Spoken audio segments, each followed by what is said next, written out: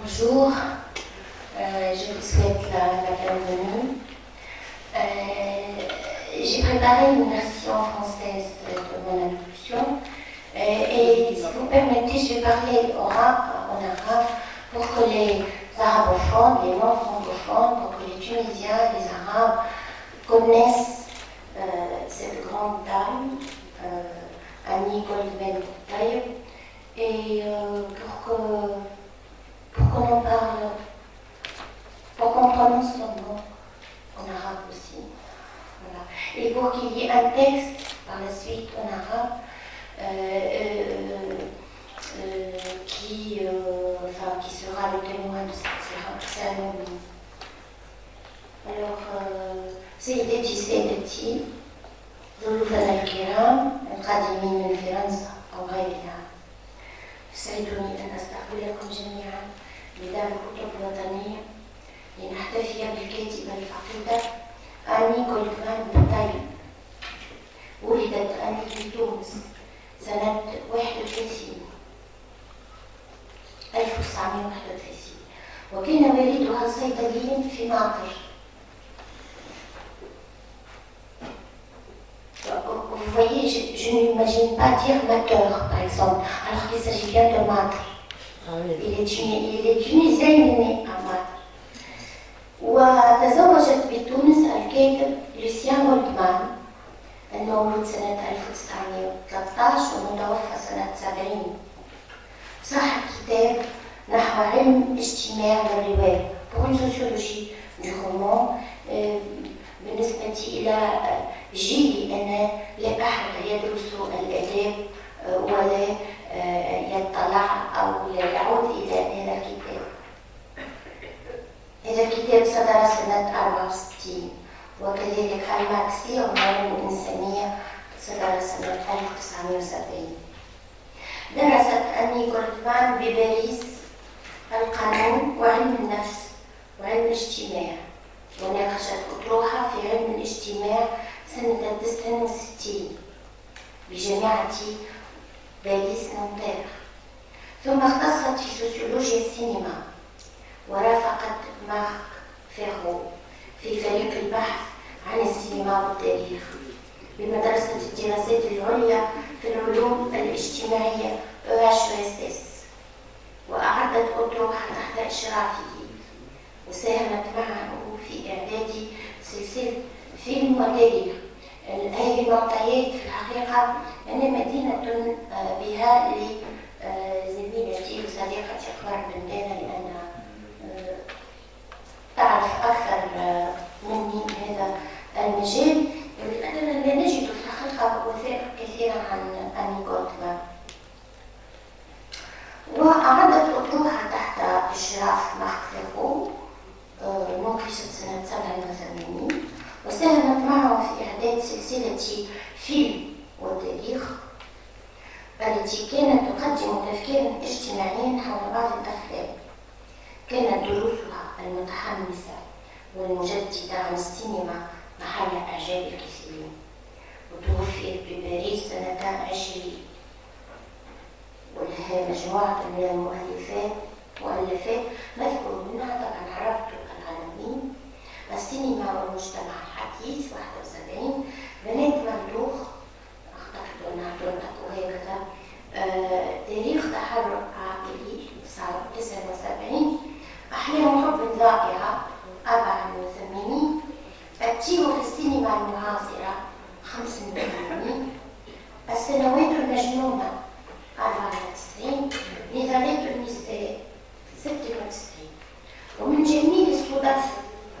تحتضن المكتبة الوطنية التونسية كتب الفقيدة عني بعد وفاتها في نوع من العود الروحي على البدن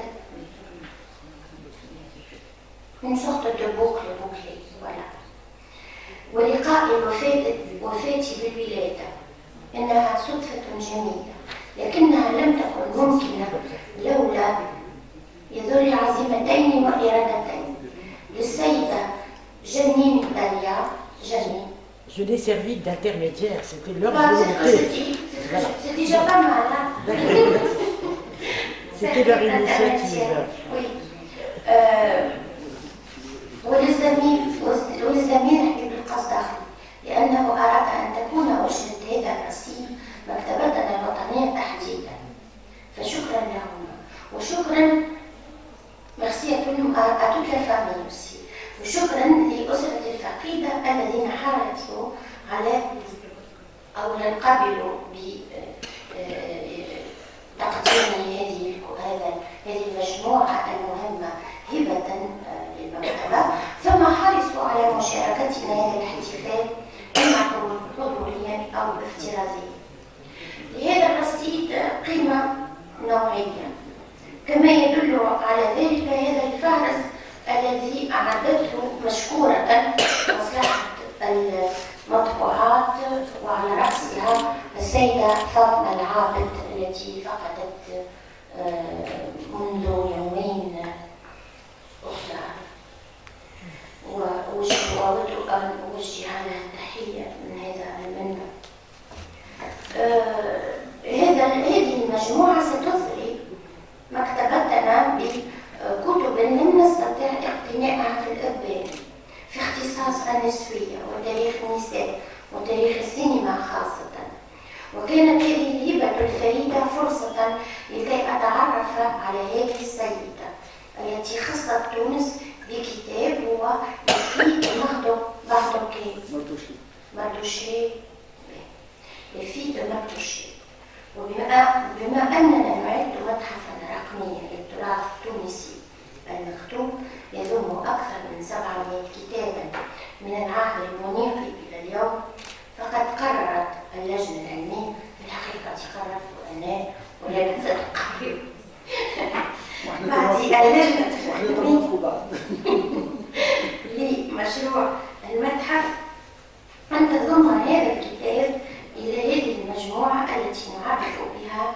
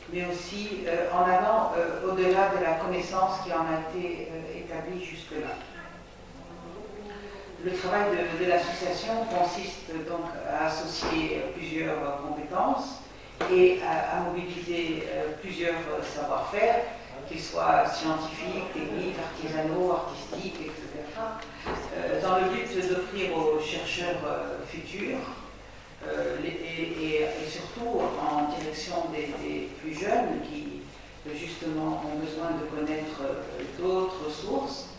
Donc de présenter, donc d'associer toutes ces compétences et ces savoir-faire pour étudier euh, quelles sont les nouvelles sources ou les sources qui existent et qui n'ont pas été utilisées et surtout d'élaborer aussi les, instruments, enfin les pistes euh, nécessaires pour trouver de nouveaux chemins, pour dégager aussi des strates historiques qui n'ont pas été utilisées ni connues jusque-là et qui existent soit dans le paysage, paysage urbain, dans aussi le, territoire de la campagne, dans la cuisine, dans les arts, dans le langage, dans les pratiques artisanales et même industrielles tunisiennes. Alors, une partie du travail de l'association Nous tous, Tunis réside dans la collecte de toutes sortes de matériaux et euh, les divers supports de cette mémoire qui est enfouie, que ce soit les objets, que ce soit les images, euh, les films, les ouvrages, dans toute leur diversité, les romans, les essais, les poésies, euh, les, les bandes dessinées, euh, etc.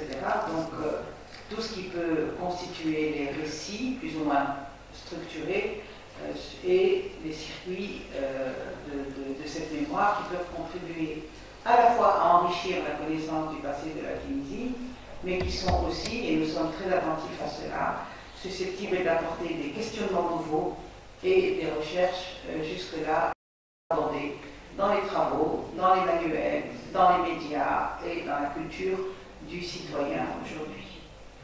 Alors, euh, cette association étant née en 2019, euh, nous avons connu, comme tout le monde, les, euh, les, arrêts dus au Covid, mais plusieurs activités ont pu avoir lieu, beaucoup dans cette salle même, parce que la GMSM est, est est membre de cette association et aussi Habib Razdami ici présent. Donc il y a eu un hommage à Albert sorte de Araïnia de 40e jour qui a été organisé à la Bibliothèque nationale de Tunis pour, en juin 2020, 40 jours justement après la mort d'Albert Méni à Paris. Il y a eu aussi une exposition du photographe Jacques Pérez euh, souvenir d'un qui a eu lieu en octobre, euh, en octobre 2021. Il y a eu aussi la présentation de, de l'ouvrage d'Alfonso Campisi sur les, les, Siciliens. Donc voilà, nous avons essayé quand même d'organiser euh, les activités que nous permettaient, que, nous permettaient les précautions euh, sanitaires. Et des travaux euh, sont en cours, je vais citer les plus proches. Actuellement est en cours un, traitement, enfin, un inventaire et un traitement méthodique euh, du fonds judéo-arabe de la Bibliothèque nationale de Tunis. Et à cet effet, ce travail va, être publicisé et, discuté à l'occasion d'un colloque qui est prévu pour le mois de novembre de 2022 et qui s'intitule Faire parler les langues oubliées, non seulement le judéo-arabe, mais euh, probablement aussi d'autres langues qui ont été parlées en, en, Tunisie, en tout cas à l'époque euh, contemporaine. Il y a aussi un projet de signalisation de la nécropole de Gamat qui est en cours et qui a commencé. Et puis euh, une exposition tout, tout prochainement, une exposition de céramique qui aura lieu à Nabeul euh, en, au mois de mai, qui est le mois euh, de la célébration du patrimoine en Tunisie.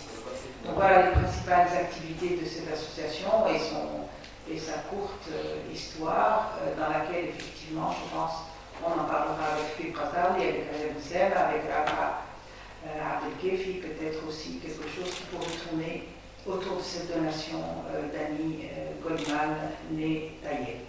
Voilà, je vous remercie pour votre attention et je passe maintenant la parole à Habib Ratali qui va nous parler en tant que directeur du laboratoire patrimoine et ressources. Je ne sais pas comment on l'appelle. Et ressources patrimoine. Voilà, je te donne la parole.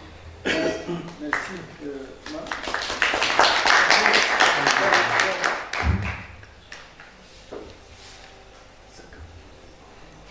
Euh, bonjour tout le monde. D'abord, bienvenue à membre de la famille d'Annie Goldman, euh, son amie Janine Talia,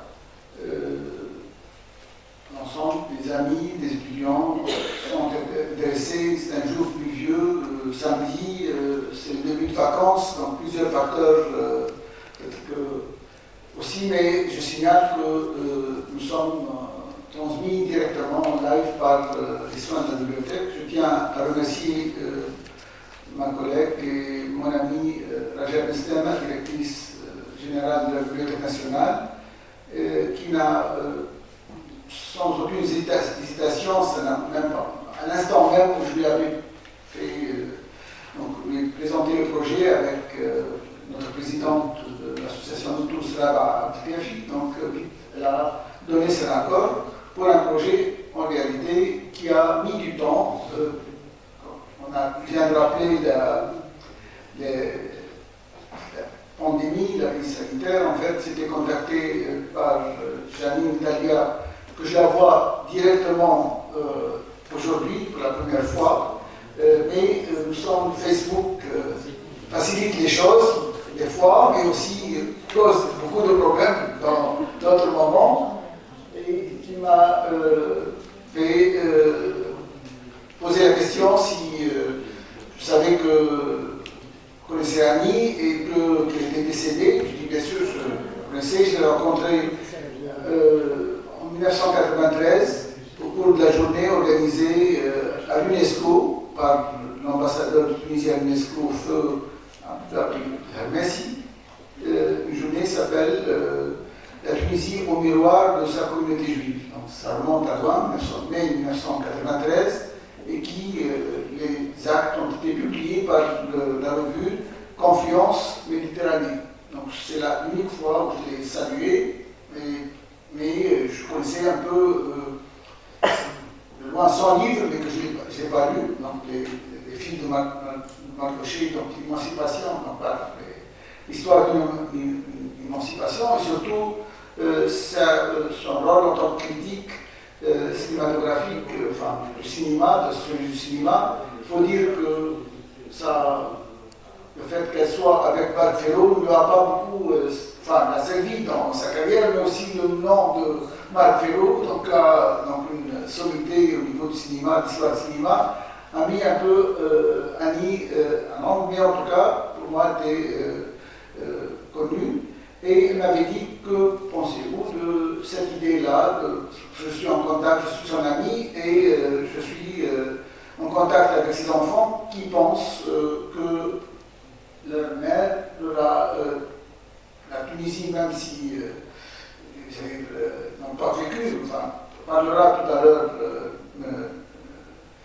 Michel parlera qu'effectivement, il a passé quelques années, mais il ne s'en rappelle pas, mais en tout cas, la Tunisie était présente et qu'il voulait faire un geste pour la Tunisie en, offrant une partie de la. Est-ce que vous êtes intéressé par une partie de la bibliothèque personnelle d'Annie Donc, évidemment, comme nous l'avons déjà fait, mon laboratoire y a contribué pour faire venir, je ne peux pas utiliser rapatrier, mais en tout cas pour que le vœu exprimé par Paul Sebag, donc déjà en 2006, donc nous avons accueilli une partie du fonds de la bibliothèque, nous avons la Manoua, et nous avons accueilli deux ans après, en 2008, une partie des livres en doublant que Lucette Balenzi nous a offert, je crois, 300 livres. donc pour pour moi, c'est une occasion de concrétiser une devise de notre laboratoire qui s'appelle Région et ressources patrimoniales. Et le région, ce n'est pas au sens département, mais c'est un morceau de la, du patrimoine au sens aujourd'hui accepté matériel et immatériel. Et pour nous, Annie Goldman et tous les gens nés, en Tunisie font partie d'ailleurs de la devise aussi de notre association c'est que considérer que tous, tous ces gens-là, là où ils sont, du moment qu'ils euh, euh, ont appartenu à la Tunisie, nés en Tunisie, ou se reconnaissent quelque part dans leur identité plurielle, la Tunisie existe. Euh, donc c'est un devoir pour notre laboratoire de le faire, c'est-à-dire de rendre donc, possible que les d'exaucer ou bien de matérialiser un tel vœu. Donc c'est pour cela que j'ai mis en contact avec la famille, notamment avec Philippe, euh, euh, donc c'est évidemment, on m'a posé la question euh, enfin, sur, le, sur les livres, donc j'ai exprimé ce que je voulais. Bon, j'ai pas eu tout ce que je voulais, mais, ce que j'ai eu déjà est important, puisque c'est un, je pense, malheureusement la dame qui a fait l'inventaire, donc je salue, donc, mais un fonds très important, très riche, puisque je les ai transportés euh, quatre, quatre voyages. C'est l'occasion aussi de saluer mon beau-fils, euh, qui, qui s'est avec moi, parce qu'il y avait un moment en question qu'il fallait vider l'appartement et qu'il y avait une date butoir. En plein Covid, ça a été mis tout d'abord chez ma fille à Paris, et ensuite, euh, j'ai mis du temps durant les mois de novembre, décembre euh, dernier, donc aller euh, faire venir en Tunisie au fur et à mesure de mes quatre voyages. Maintenant, ils sont là, euh, ils sont inventoriés, donc ils font partie du patrimoine de la, qui mieux que la Bibliothèque nationale peut sauver ce patrimoine-là. Donc, Annie est, aussi présente par ce geste-là. Et euh, j'espère que, euh, évidemment, euh, d'autres. maintenant, c'est possible aussi que d'autres livres puissent mais en tout cas, le fond, déjà, il est riche et composé à 80% des livres qui sont là sur tout ce qui est relatif donc, à l'histoire des femmes, à la sociologie des femmes, aux gender studies, tout ce que ça nous donne aussi une de la richesse de la culture de Nanny Goldman. Donc, ces livres, donc, lus, euh, qu'elle avait gardés euh, dans sa bibliothèque personnelle, ça nous donne une dimension de euh, cette dame, de ses lectures, de ses intérêts et, ses domaines de recherche, puisque tout à l'heure, Janine, on parlera donc de, des écrits et des contributions d'Annie Goldman. Donc, je remercie euh, la Bibliothèque nationale, mon ami et collègue Rajab Meslama, et euh, ce geste-là. Je tiens à remercier donc, la famille qui a, fait le, qui a patienté. Donc, euh, nous avons, en plein Covid, que les contacts ont, commencé, mais nous ne sommes pas encore sortis totalement du Covid, mais voilà, ça, ça, les a encouragés à venir. Je les remercie d'être là avec nous. Donc, il n'y a pas mieux que que le cadeau soit, bien la cérémonie se passe avec, euh, euh, en présence de la famille. Je remercie euh, notre association de tous, Rabat, en mission en France, donc elle n'a pas pu assister, donc, mais elle est là. C'est une des vocations, comme vient de le rappeler Omar, de cette, que toute cette Tunisie, tous ceux qui s'en réclament, donc c'est l'association dépositaire qui encourage tout ce travail. Et je remercie euh, encore une fois Nadia euh, qui la plus que la représentante pour moi, depuis au de 4 ans, maintenant 5 ans. C'est un partenariat scientifique puisqu'elle représente le bureau académique de la Fondation Rosa Luxembourg euh, Tunis, qui n'a pas aussi hésité à être partenaire comme beaucoup d'autres projets. Donc nous sommes partenaires à euh, contribuer à sauver le patrimoine tunisien, à le valoriser, à montrer sa richesse, euh, ses multiples dimensions. Donc, encore une fois, merci à vous toutes et tous d'être présents ici, de partager avec nous la concrétisation du vœu euh, de la famille Kali Goldman. Merci.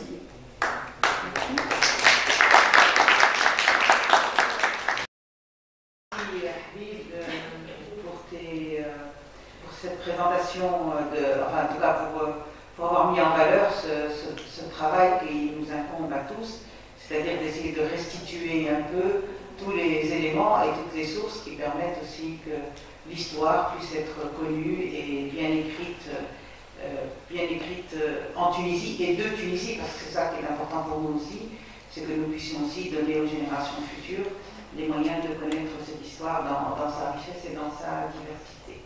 Je passe maintenant la parole à Madame Métienne qui justement au nom de la Fondation Rosa Luxembourg, partenaire scientifique et technique de cette opération. Euh, bonjour et euh, merci. Alors, euh, Sergi va finir avec le remerciement. Moi, je vais commencer avec le remerciement. je suis très heureuse d'être ici. J'aimerais bien commencer vraiment par remercier la famille d'Annie Goldman et Janine aussi, que j'ai rencontrée pour la première fois sur Zoom. je, je, veux aussi remercier bien sûr la Bibliothèque nationale, euh, nous tous et le laboratoire du patrimoine qui sont des partenaires de la Fondation euh, pour le laboratoire depuis plusieurs années, pour l'association Nous tous euh, depuis l'année dernière. merci pourquoi? Merci parce que je crois que c'est important que des livres comme ça soient à la Bibliothèque nationale à Tunis. Je crois qu'il ne s'agit pas seulement de, conserver quelque chose, mais vraiment de le rendre accessible. Bien sûr, le thème, il est d'une grande importance, l'histoire des femmes. Euh, c'est une des questions très importantes et qui resteront, qui resteront sûrement en Tunisie et ailleurs dans le monde sûrement. Euh, donc, je crois qu'avoir ces livres-là, avoir ce fonds-là à la Bibliothèque nationale, l'avoir accessible pour des chercheurs, pour des étudiants, des étudiants, c'est énorme, c'est important. Euh, merci aussi parce que moi, pas, je ne connaissais pas Annie Goldman. Euh, et j'ai l'impression que je l'ai découvert à travers ce projet aussi. Donc j'avais entendu le nom, euh, bien sûr, mais je n'avais pas beaucoup d'informations. Donc pour moi, c'était aussi, et c'est pourquoi je ne voulais pas beaucoup parler, parce que je préfère aussi après entendre de vous et avoir un échange et connaître plus Annie Goldman, parce que euh, c'est ça aussi, c'est pour moi le, gain que j'ai de cette activité, c'est vraiment de découvrir une personne, une femme extraordinaire très très intéressante, d'après la biographie que j'ai lue. Mais donc, euh, je pense que c'est c'est très intéressant et c'est très important de, d'avoir de, de, connaître des personnes comme ça de, parce que ça montre vraiment euh, c'est parti d'un côté de l'histoire de la Tunisie donc euh, c'est parti de la diversité qui, a eu, euh, qui, a eu malheureusement qui, n'est aujourd'hui pas toujours euh, visible de la Tunisie. Je suis vraiment très heureuse que cette, cette cérémonie peut être l'occasion pour aussi la famille de venir en Tunisie, Janine de revenir en Tunisie avec son fils. Donc je pense que c'est quelque chose qui vraiment aide à rapprocher et qui est très enrichissant. Euh, comme fondation, on est euh, euh, la Fondation Rosa Luxembourg, c'est une fondation politique allemande, une fondation de gauche, qui travaille beaucoup sur tout ce qui est recherche, tout ce qui est académique, qui vraiment encourage tout ce qui est recherche critique, qui aide surtout les jeunes chercheurs à vraiment avoir accès, à vraiment faire des recherches et avancer. Et euh, je crois que parfois les, gens pensent qu'on travaille sur le contenu, surtout l'histoire de la gauche. Oui, on le fait, on le fait beaucoup. Euh, le mouvement ouvrier, des, des, termes comme ça. Mais je crois qu'il euh, y a plus. Il y a plus et on le fait, et c'est important, et c'est important de l'indiquer. Parce que, à part le féminisme, euh, la diversité en Tunisie, donc l'histoire de la Tunisie, a montré de toutes ses facettes, c'est aussi quelque chose de, progressif, c'est quelque chose d'important et c'est quelque chose euh, auquel on est heureux si on peut, euh, si on peut aider à le faire, si on peut aider des associations, des chercheurs à avancer des projets dans ce cadre. Donc, une autre fois, merci. Euh, je ne vais pas je vais plus parler parce que je l'entends de vous. Donc, euh, et merci fois. Merci beaucoup, Madame Audrey. Mais alors, euh, tu voudrais qu'on voit des extraits de films maintenant? Quel est le programme? Vous voulez parler d'abord? Qu'est-ce que vous voulez Donc, faire? euh, Comment bien vous tu veux parler Comme tu veux, je hein? Parce que, je- oui, tu parles et puis on voit. Parce qu'on voudrait que les gens découvrent euh, dans la salle, à travers les extraits préparés par Michel. Absolument, mais c'est quand tu veux. euh, Non? Mais, Je peux peut-être euh, peut-être présenter l'extrait. Philippe va présenter l'extrait. oui. D'accord. Alors voilà, on va vous présenter les extraits et c'est vous, monsieur, donc euh, vous êtes le fils de Madame Coleman, vous appelez Philippe, bienvenue en Tunisie et je vous laisse présenter les extraits pour que tout le monde euh, voit un peu cette collecte euh, et d'une façon un peu vivante. Et puis on les commentera après, peut-être que les, les- allocutions seront mieux comprises avec les extraits. Euh, on. On J'ai juste expliqué un petit peu. euh, Oui, bonjour. Euh, je, vais, je vais juste expliquer un petit peu de, de quoi il s'agit. Euh, et après, je vais peut-être mon, mon intervention. Euh, trouve que j'ai fait des interviews euh, de la mère, Annie Goldman, euh, avec cette idée qu'elle avait elle-même interviewé sa grand-mère. Et donc, d'avoir une espèce de continuité avec ce qui avait été fait par les, avec les filles de Mardoché. J'étais parti pour un interview de deux heures, et puis finalement, euh, il y a dix heures. Euh, et j'ai fait, quand euh, j'ai reçu la, la, de la cérémonie, assez rapidement, un petit montage de, de 5 minutes sur son enfance, sur la, la Tunisie, son enfance et, sur l'indépendance. Voilà, c'est assez court, mais je crois que vous vouliez, de, de connaître euh, Annie, je pense que c'est voilà, une façon de bien, bien la connaître.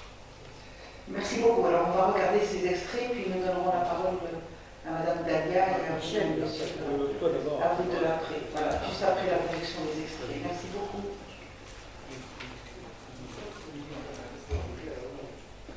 Michel, Hazm, on peut voir les extraits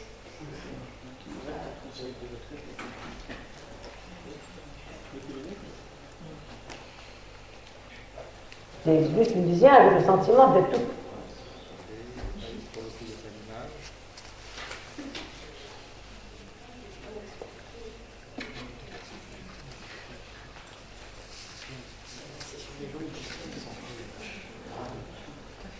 il y a pas d'image.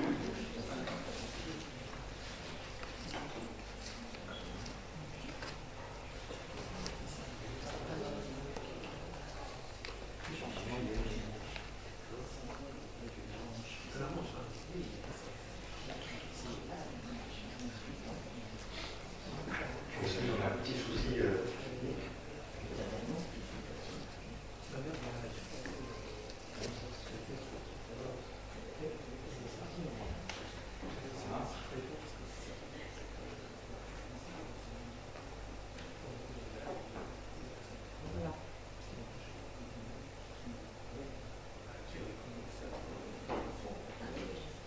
Les juifs tunisiens avaient le sentiment d'être.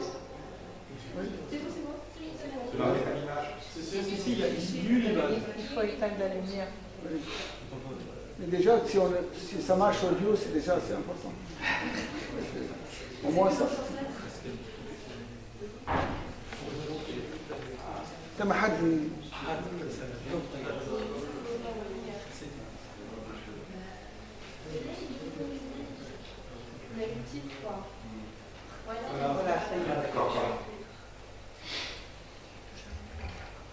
Les juifs tunisiens avaient le sentiment d'être tout à fait chez eux, et depuis toujours. Et moi, j'ai toujours considéré que c'était mon pays. Alors, donc, mais il y avait en même temps cet apport de la civilisation française qui a été pour les juifs, qui vivent de manière très orientale, une espèce d'aspiration extraordinaire pour euh, la modernité. C'était ça qui les attirait en France. Ils ne voyaient pas comme une puissance coloniale. Ils voyaient au contraire comme une puissance qui allait développer pour tout le monde, pour ceux qui le voulaient, ceux qui le désiraient, une, ouverture sur la modernité. Mon père s'installe là, il, est pharmacien, il a ça devait être en 28, 29, quelque chose comme ça. Et ma mère euh, m'a dit par la suite, j'ai passé les plus belles années de ma vie amateur. Parce qu'en fait, c'était un peu le centre, la pharmacie, de, tout, de, toute, la, la- de, de toute la population. Euh, le jour du marché, samedi, tous les paysans venaient à, à la pharmacie pour acheter euh, des médicaments. Les trois quarts, d'ailleurs, euh, c'était gratuit. Enfin, je veux dire, de ce point de vue-là, mon père avait une, sensibilité tout à fait extraordinaire. De ce point de vue-là, quand il ne pouvait pas payer, il ne payait pas. C'est tout, on n'en parlait plus. hein. Donc pour tout le monde, pour tout le monde. Et en même temps, il avait aussi un rapport avec ce qu'on appelait les Français, c'est-à-dire l'administration et tout le reste, parce qu'il avait une culture de français. Bon. Et en même temps, il y avait tout autour de Mateur, il y avait des, des, mines. Et tous ces gens-là venaient évidemment chez mon père, parce que euh, c'était un des rares avec qui euh, il pouvait parler. Et mon père était passionné par une chose, c'était le développement économique de la Tunisie. Pour lui, il ne voyait pas la différence entre euh, musulmans, tunisiens, français, juifs, etc. Pour lui, il la Tunisie avait des possibilités énormes et euh, il faisait des tas de projets avec justement ces gens qui étaient des ingénieurs, des, architectes, des archéologues, des gens comme ça. Et le- son principal préparateur était un musulman, Tahar, le fameux Tahar, qui est rentré à 11 ans à la pharmacie pour balayer. Et puis au bout de 15 ans, c'est lui qui faisait entièrement toute la pharmacie, c'est lui qui faisait l'ordonnance, parce qu'à ordonnances, parce qu'à l'époque, on, on- faisait beaucoup les, les- les les pommades, les potions, etc. Ça se fabriquait sur place.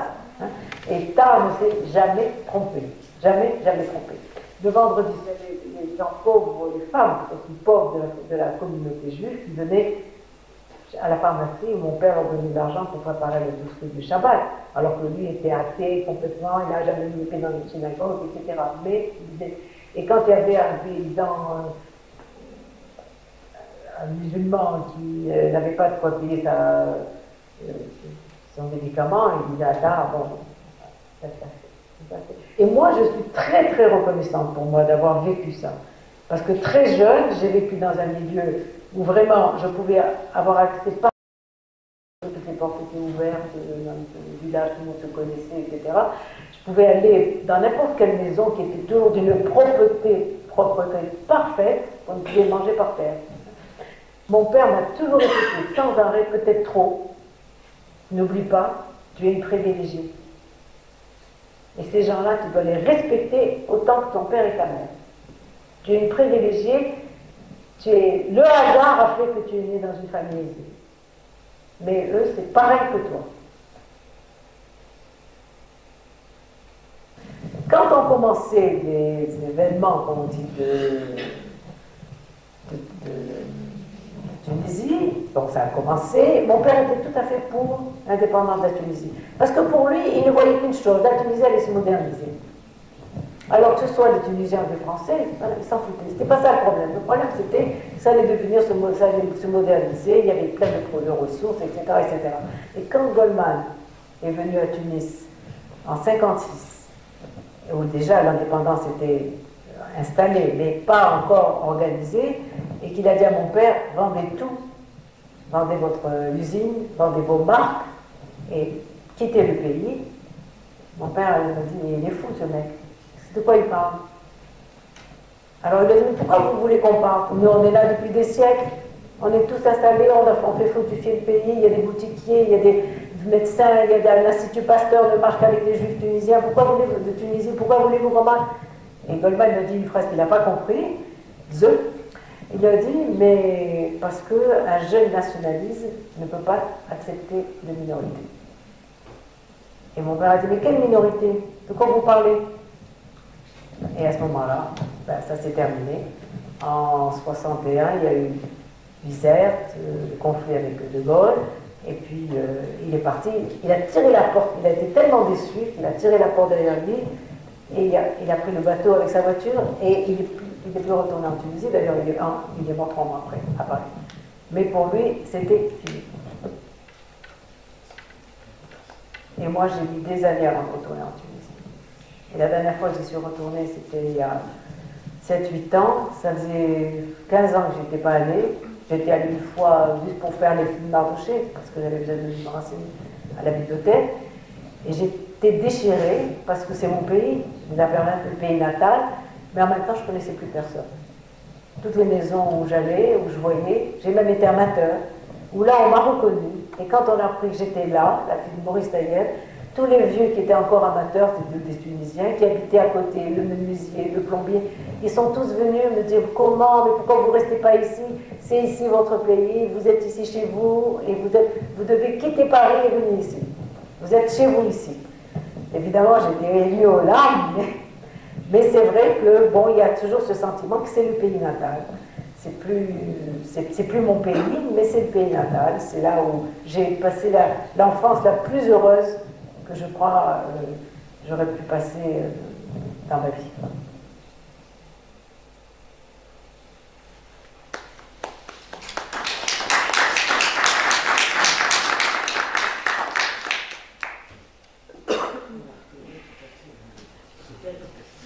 le deuxième extrait. On va voir le On a notre extrait. Alors, euh, l'extrait de, de Salma ou celui sur les femmes Le femmes Pachi. Le. Oui. Euh, donc il y a un deuxième extrait euh, qui est de. Euh, qui sont des extraits qui, qui viennent d'un film tourné par Fatma Sherif sur la. Mémoire juive tunisienne. La mémoire juive tunisienne. donc là, c'est deux extraits qui ont deux moments différents. Le premier, je n'ai pas très bien compris parce que je ne connais pas l'histoire. C'est l'arrivée d'Esteva euh, amateur. D'accord. En 1940. Et, et, donc voilà, là, il y a ces deux moments différents qui s'intègrent dans un, dans un film qui raconte, qui raconte l'histoire.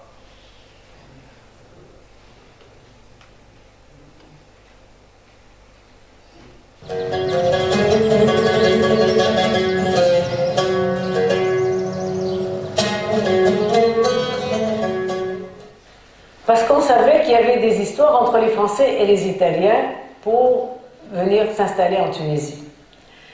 Et nous, on ne savait rien, c'était des bruits qui couraient, des rumeurs, parce qu'on ne lisait pas les journaux, évidemment il n'y avait pas la radio, on était au courant de rien, mais c'était ce qu'on appelait des bobards à l'époque. Des rumeurs couraient que les Français allaient venir. Et euh, on ne on savait pas très bien quelle attitude adopter, on ne savait pas. Simplement, on s'est dit, oh là là, les Arabes vont se soulever. Il va y avoir une guerre.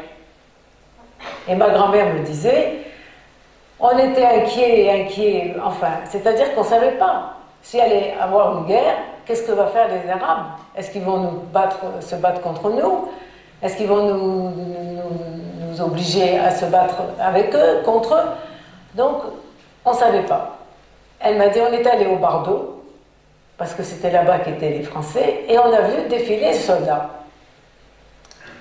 Et alors j'ai dit, tu as vu défiler les soldats français? Elle m'a dit, oui. Ils venaient de débarquer et ils ont défilé. Et nous, je, et vous, je disais à ma grand-mère, et vous, dans quel état vous étiez? Elle a dit, on attendait. On ne savait pas comment ça allait se passer. Mais il n'y a pas eu de guerre. Ça s'est calmé, les Français sont arrivés, ils se sont installés, et puis les choses ont changé petit à petit. En 1940, l'amiral Esteva, résident général nommé par le régime de Vichy, dont il partage pieusement les convictions réactionnaires, applique le statut des juifs promulgué par Pétain. Numerus clausus dans l'enseignement et pour de nombreuses professions libérales, interdictions diverses. Mais soit parfois chrétiennes sincères, soit parce que la Tunisie déjà moderne a besoin de ses médecins et des professions libérales, il demeure en deçà des invectives antisémites habituelles à tel point que Vichy lui envoie des forcenés de la collaboration pour le rappeler à l'ordre. Le résident général Esteva devait venir faire euh, un voyage amateur, euh, une tournée.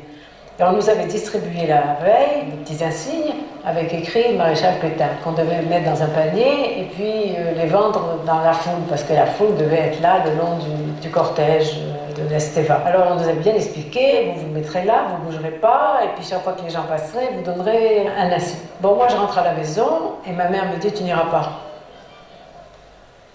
Il n'y avait pas encore les Allemands. Hein? tu n'iras pas. Alors j'ai dit pourquoi je n'irai pas Elle m'a dit comme ça, tu n'iras pas, parce que tu ne peux pas y aller. J'ai dit comment? J'ai mon, mon, panier qui est à ma place. Elle la directrice m'a elle n'arrivait pas à me dire, ma mère, elle ne pouvait pas me dire. C'était comment expliquer cela à un enfant? Alors elle a simplement fait référence à une de mes cousines très éloignées, très éloignée pour laquelle j'avais une dévotion. C'était pour moi la diva. La diva. Elle m'a dit Tu crois que Colette serait allée?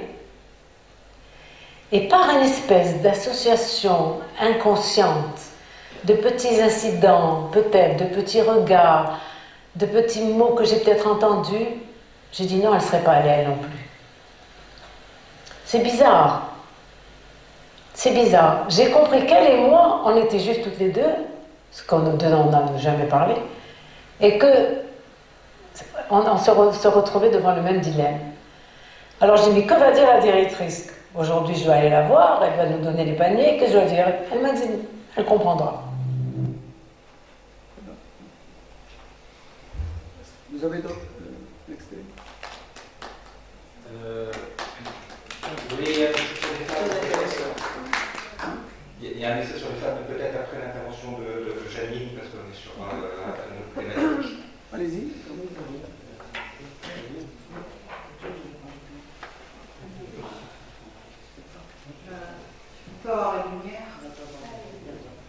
Voilà, nous avons donc une première série d'extraits. On est sur les biographiques, mais aussi sur euh, des éléments historiques très importants, c'est-à-dire comment est-ce qu'une famille juive de Tunisie, euh, l'enfant d'une famille juive de Tunisie, ressent l'occupation française qui déjà était à, l'époque sous, évidemment sous influence allemande et avec toute la législation qui va se qui va avec Esteva et sous, euh, sous le gouvernement Et nous aurons tout à l'heure d'autres extraits sur un autre aspect. Donc je vous donne la parole, Madame Daga, pour nous parler un peu de la personnalité d'Annie Goldman Netayev et puis de ses préoccupations euh, scientifiques et intellectuelles. Merci. Merci beaucoup. Euh, tout d'abord, je voudrais vous dire mon émotion, vous saluer vous dire mon émotion d'être ici, en ce jour, hein, euh, avec les enfants d'Annie, euh, dans ma ville natale, euh, n'est-ce pas Parce qu'on n'oublie pas, Albert Mélet disait, on n'oublie pas sa mère. Voilà. Et en plus, à l'ABN, que j'avais connu, que je connaissais pas, connais pas du tout, et que j'avais connu, moi, au souk à la quand j'étais enfant et adolescente, hein, on empruntait tous nos livres, et donc, vraiment, euh, Mabouk, hein, ce bâtiment euh, magnifique qu'elle vous transmettra à Raja. Et euh, je pense que c'est un hasard, mais un hasard vraiment heureux que nous trouvions dans une salle, cette salle qui s'appelle le parce que ce théologien musulman a été à l'origine de l'égalité entre les hommes et les femmes en Tunisie, il était vraiment précurseur il avait établi un ensemble de propositions dans ce sens et donc je trouve que c'est particulièrement bienvenu. Alors en fait, euh, euh, la, directrice me disait euh, qu'il est mort euh, tout à fait isolé, pauvre et que ses, thèses n'avaient pas été reconnues. Je pense cependant que 50 ans, enfin pas 50 30, 40 ans plus tard, Habib Bourguiba s'en est inspiré puisque à peine arrivé au pouvoir, alors que la Tunisie n'était pas encore indépendante, il avait pris par décret médical un décret qui affirmait et qui posait l'égalité entre les hommes et les femmes. Et ça a été une avancée formidable pour toute la société, pas simplement pour les femmes tunisiennes, mais une avancée formidable. Et je dois dire que bon, tout ça, ça, ça aurait pu à euh, féministe, on se trouve en, terrain euh, familier, terrain familier. Alors, pour revenir à Annie, Annie Taillère, donc, c'était mon aîné de quelques années, et du fait de cet écart, on ne s'était jamais croisé à Tunis. Alors, elle était à Paris quand moi j'intégrais le lycée Armand je crois, où elle était elle-même élève. Et nous sommes rencontrés à Paris dans les années 70 à peu près, 80. Je savais bien sûr qui elle était, le travail considérable qu'elle faisait sur le cinéma, euh, euh, ayant fondé, pour ainsi dire, la sociologie du cinéma, considérant le cinéma comme incarnant la société nouvelle, non parce qu'il est une source et un agent de l'histoire, mais parce que ces images appellent à une recherche sociologique spécifique, propre sur leur portée, comme l'expliquait Marc Ferraud, avec qui elle travailla, comme l'ai dit, pendant plus de 20 ans à l'école de études en sciences sociales. Je savais aussi qu'elle avait été la femme de Lucien Goldman, grande figure intellectuelle française d'origine roumaine. Et si vous permettez, je vais faire une petite ouverture, enfin une parenthèse sur Lucien Goldman. Euh, donc Annie Tayeb était étudiante en droit à Tunis. Vous savez, à, l'époque, c'était les seules études qu'on pouvait démarrer à Tunis et passer ses examens à Paris. Et donc elle se rendait régulièrement à l'Institut des hautes études de Tunis. Voilà, absolument, absolument. Donc, euh, c'était avec ça qu'on pouvait faire comme étude à l'époque. Oui, parce que tout, tout, se passait à Alger, en fait. Voilà, à Alger, et ensuite à Alger. Voilà, tout à fait. Donc, euh, elle, elle allait à Paris pour euh, valider ses examens, et par la suite, elle s'est installée à Paris pour poursuivre ses études, des études en psychologie. Et au cours de ses séjours, elle rencontra, excusez-moi, les fumeuses, elle rencontra Goldman, qui était un universitaire brillant, euh, rescapé de la Shoah, marxiste convaincu. Alors exclu dans sa Roumanie natale de l'Union de la jeunesse communiste en 1934, qui était une organisation clandestine, il passe à l'université de Vienne, où il suit les cours d'Adler, réfugié en Suisse en 1942, il fut l'assistant de Piaget, il participe à ses recherches, et en 1945, il entre à à Paris, s'installe à Paris et entre au CNRS.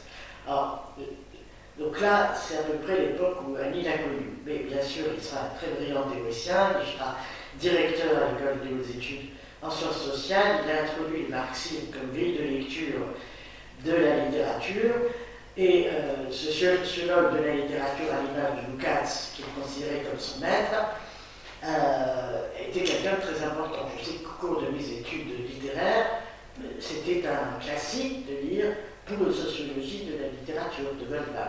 Donc, et euh, il a publié plusieurs choses. On peut citer euh, Pascal et le théâtre de Racine, chez où il analyse la vision tragique du tragique, et sociologie du roman, qui était incontournable pour toutes les études. Il avait, il s'opposait à la critique euh, universitaire traditionnelle, mais également au structuralisme, ce qui lui donnait une place très particulière dans le, au sein de, des, intellectuels français. Enfin, je ne vais pas développer sur ce sujet, mais c'est important parce que je crois que c'est important aussi pour l'itinéraire intellectuel d'Annie. Il y a une compagnonnage, euh, pas simplement, hein, vous le confirmerez. Voilà. Donc, euh, psychologue, philosophe, prof de Jean Val, il a assuré un séminaire de psychologie à laquelle Annie s'était inscrite. Et là, nous entrons dans la romance. Annie Taïeb et Lucien Goldman tombent amoureux. Lui, vous avez vu, beau, un itinéraire riche et complexe, témoignant d'une pensée forte qui ne pouvait qu'impressionner Annie. Et lui, il n'était pas moins séduit par la jeune Annie, la séduisante Annie, euh, sa vivacité intellectuelle, son charme oriental, entre guillemets, mais quand même si joyeuse et avide de vie. Alors, petit détail que, dont je me doutais que vont donner ses enfants, c'est qu'évidemment l'histoire n'a pas été si simple. Comment Aline a été convaincre ses parents de la laisser épouser un homme âgé de plus de 20 ans, universitaire certes, mais fauché, juif certes, mais ashkénaze, et loin de toute pratique rituelle. Alors le combat fut rude, si je puis dire, mais forte de ses sentiments et de ses convictions, Annie parvient par sa ténacité à convaincre sa mère et son père César. Et la ténacité d'Annie, c'est quelque chose qu'on trouve toute la vie hein, dans, son travail. Quand on est en France. Et quand on est en France, j'imagine, j'imagine. Donc Goldman, malheureusement, euh, il se marie en 56, Goldman meurt hélas tôt, en 70, à 57 ans. Et Annie se retrouve avec deux enfants, Michel, 12 ans, et Philippe, 6 ans, avec un chagrin euh, incommensurable. Donc moi je rencontre Annie euh, une dizaine d'années après, non, en 70, peu d'années après, bien sûr. Et Annie, euh, elle affronte cette situation très douloureuse de manière courageuse. Le travail à la fois devient un, secours et un recours. tout en élevant ses enfants, aidé par sa mère, parce que le grand-père est décédé trois mois après, c'est quand même on après arriver en France. Après, on arrive en France en 56, donc c'est une accumulation de, de chocs. Euh, elle avait publié quand même sa thèse, elle avait euh, cinéma et histoire, et euh, ce qui lui a permis d'entrer, Marc Ferraud, dans le laboratoire que dirigeait Marc Ferraud, justement, sur le cinéma et l'histoire. Donc, dans ces, voilà, rencontre Ali dans ces années-là, quelques années plus tard, dans ces années-là, la question de l'émancipation des femmes se pose avec acuité en France et dans le monde. L'UNESCO d'ailleurs avait déclaré en 1974 l'année internationale de la femme. Différents groupes féministes sont constitués, euh, mais Annie, euh, bien que moi-même, nous n'étions pas dans le MLF dans ci ou dans ça, mais nous étions, nous étions dans différents groupes, il y avait une multitude de groupes, de revues, et de femmes qui cherchaient à élaborer une société nouvelle. Et en 79, Annie publie d'ailleurs Les filles de Mardoché, qui est une histoire euh, familiale d'une émancipation chez De Noël. Alors, euh, pour vous en parler un peu, je trouve que c'est fascinant parce que précisément, euh, c'est une sorte de transmission familiale que de recueillir des souvenirs, de les inscrire dans l'histoire. Et Abby avait commencé son travail, avait fait son, travail partant euh, de l'histoire de sa famille en 1874, donc euh, c'est moi. Et elle parle de trois générations, trois générations de femmes. Euh, la première, c'était le mariage d'Élise, qui, euh, qui s'est fait avec un précurseur, euh, féministe avant la lettre, et qui a laissé toute ouverture à sa femme, non seulement ouverture, mais qui l'a formée politiquement, intellectuellement, et qui s'est épanoui de manière totale, à la fois mariage et dans ses activités. Si l'on passe à la génération suivante, on a Juliette, qui est une femme tout à fait euh, formée, cultivée, intelligente, puisqu'elle devient en 1920 la première femme avocate du barreau de Tunis. Et ça, c'était pour le père qui euh, inscrivait vraiment les enfants vers la culture, vers le haut, vers les femmes doivent être émancipées. Et euh, Juliette, qui se marie, réintègre un peu le rôle traditionnel de la femme, à la fois soulagée et en même temps avec regret, parce que quand même, il faut vous dire que euh, des femmes dans les années 20, qui sont des femmes avocates ou médecins intellectuels, et eh ben, les maris tunisiens, euh, juifs ou euh, ils ne voient pas ça d'un très bon oeil, hein, parce qu'ils veulent toujours dominer, si je puis dire, leurs épouses, leurs femmes, et quand une femme est au foyer, celui qui porte la culotte, c'est l'homme, hein, c'est pas la femme dans ces années-là et même après Donc elle a des regrets, mais elle s'est un peu casée dans le moule parce qu'elle euh, voulait aussi se marier, avoir des enfants, être dans une normalité entre guillemets. Et nous arrivons à la génération d'Annie, troisième génération. Alors Annie a hérité toutes ces expériences. Elle s'inspire de son grand-père euh, qui était vraiment, euh, il faut se dépasser, se former, aller au bout de ses capacités, de sa formation. Et puis, euh, en effet, donc elle fait son doctorat, elle fait l'avance, et en même temps penser à la réalisation de soi, ce qui est une gageure permanente, ce qu'elle a bien sûr essayé de faire, en fait, mais c'est une gageure permanente parce qu'effectivement, euh, réaliser les deux choses en même temps, être aussi une épouse, être aussi une mère, ça prend beaucoup de temps, c'est des choses complexes. Et pour les femmes, c'est toujours une équation. Quoi. C'est des superwomen. Hein. Je dois vous dire qu'ici aussi, il doit y avoir des superwomen, c'est-à-dire qui sont à la fois dans leur boulot, qui sont intelligents, qui s'occupent des enfants, etc.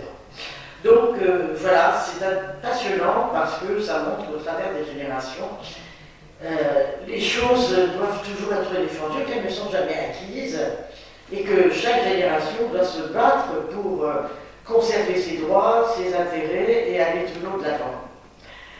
Voilà, donc on s'est rencontrés plus précisément donc, au moment de la préparation d'un colloque qui s'était tenu à Beaubourg, sur les cultures juives et méditerranéennes, où il était question de toutes les cultures, euh, Tunisie, Maroc, Algérie, Égypte.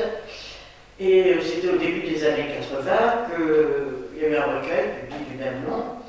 Et nous avions en fait beaucoup d'amis communs, une complicité née, et c'est ainsi que nous avons écrit ensemble, euh, que nous sommes retrouvés autour des femmes et de la Tunisie.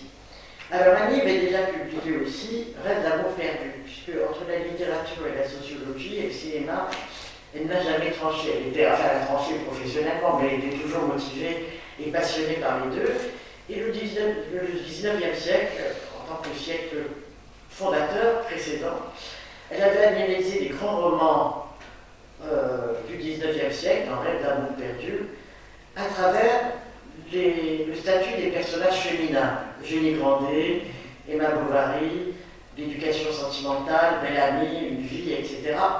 Et dans ces, livres, les femmes sont tenues à ce qu'on appelait une morale bourgeoise, hein, et elles ne pouvaient pas en sortir. Et l'analyse d'Annie lui fait conclure, d'une certaine manière, que c'est à travers cette société du XIXe siècle qu'on a vraiment euh, stabiliser, euh, définir, réifier le statut de l'homme et de la femme dans la société. Ces rapports euh, inégaux. alors, nous avons dans ce sillage, si vous voulez, donc, sur les, femmes, nous avons projeté ensemble un livre qui s'appelle Le judaïsme au féminin, qui est épuisé, mais qui, je crois, dans votre fond, et parce que nous nous posons des questions, non seulement des femmes, mais autour des femmes juives, en tant que juives, comment constituer ça. Et y a un réel paradoxe être juive, juive, à devoir assumer un certain nombre de choses sur le plan de l'éducation, sur le plan de la transmission, et de n'avoir aucun devoir euh, de formation, si je puis dire, et aucun devoir non plus, euh, aucune autonomie. C'est-à-dire que la femme juive était soumise à l'autorité du mari ou du père, et ça rencontre certainement un écho, je crois, sur le statut des femmes euh, dans l'islam. Donc, euh, cette idée nous est venue, et c'est un travail de sororité que nous avions entrepris. ça a été un moment très riche. Et on se côtoyait évidemment très souvent, et on, allait l'une chez l'autre, elle venait souvent chez moi parce que mon fils à l'époque était encore jeune, et euh, on s'est retrouvés euh, vraiment euh, très, très liés. On avait un peu le goût de l'aventure et d'une certaine provocation, puisque, pas pratiquante ni croyante, nous lancions dans un travail que seule une curiosité intellectuelle justifiée et nous avons affirmé et constaté que cette curiosité était suffisante pour souligner ce qui faisait problème dans le statut des femmes juives. Alors évidemment, ce livre n'a pas plu à tout le monde, c'est-à-dire que les religieux, entre guillemets, ont euh, largement critiqués. Et par contre, euh, la plupart des gens l'ont apprécié, et je dois dire que ce livre avait un beau grand succès aussi de presse, puisque il a fait la couverture d'hebdo comme euh, le Nouvel Obs, le Point. Euh, donc, vraiment, il, ouvrait dans la société française aussi un débat sur le statut des femmes juives. Et c'était une question qui reste d'actualité. Alors, le cheminement avec Annie Goldman ne s'est pas interrompu pour autant. je ne sais pas si je parle trop, je peux arrêter. On est resté très très proches. On a été euh, aussi très proche au niveau de la culture tunisienne en particulier. Il y a eu une association KNA, la KNA qui a été créée pour valoriser ce patrimoine. On avait des rencontres régulières, des rencontres culturelles. Albert Lémy avait ouvert la voie, mais il y avait d'autres jeunes écrivains qui se pointaient à l'époque, comme Marco Coscas, que vous devez connaître le dont le Palace Brunel a fait un grand effet, ou encore Katia Rubinstein, les mémoires d'une même fille illettrée euh, sur la Tunisie, qui était un livre aussi qui a rencontré beaucoup de succès. Michel Doulina répétait son premier spectacle et nous avons assisté à son filage dans un lieu improbable, un espèce de garage. Et il ne savait pas si son spectacle marcherait. Vous savez la suite euh, qui s'est faite.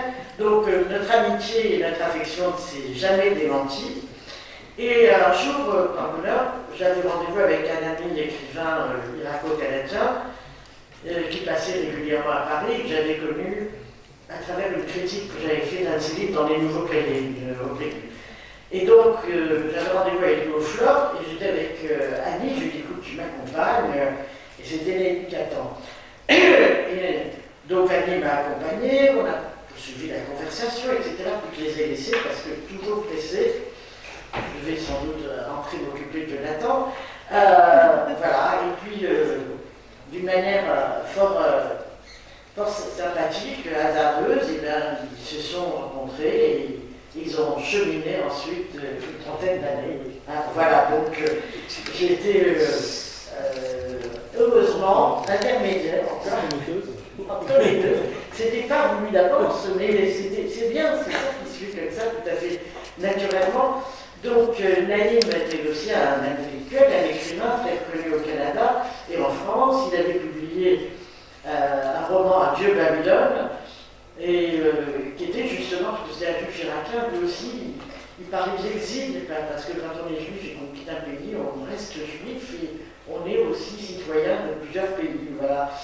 Et il avait publié une trentaine de romans. Euh, euh, il avait publié aussi un essai très important, Le, le réel et le théâtral, qui était préfacé par Grosjean et qui expliquait combien l'approche du théâtre était très différente pour le monde occidental, qui en héritait de la Grèce, alors que dans les cultures juives et dans les cultures arabes, c'était une autre approche. Et donc, euh, c'est intéressant. C'est un livre peut-être avoir ici pour vous. Je l'ai, peut-être que vous l'amènerez.